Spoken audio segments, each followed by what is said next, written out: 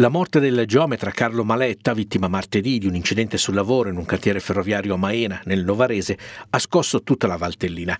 In tanti si chiedono se non sia possibile fare di più nel campo della sicurezza e della prevenzione e sul tema interviene anche l'Associazione Nazionale Lavoratori Mutilati e Invalidi del Lavoro, l'ANMIL, presente anche a Sondro con un nuovo direttivo. Il presidente Arturo Schiappadini avrà come vicepresidente Leandro Barri. Noi come associazione cerchiamo collaborazioni istituzionali, collaborazioni collaborazioni eh, per i vari eventi che faremo e via dicendo e eh, chiaramente eh, sensibilizzare innanzitutto quello che può essere l'opinione pubblica perché questo è un caso grave e si vede tutti i giorni casi di morti o di infortuni abbastanza gravi. Ma ANMI non vuole solo occuparsi del dopo incidente sul lavoro, ma va anche un programma dedicato alle scuole per far conoscere ai ragazzi il tema della sicurezza e della prevenzione. Stiamo costruendo una, un programma per poter arrivare eh, nelle scuole e via dicendo, nel, e nelle, specialmente nelle professionali e non,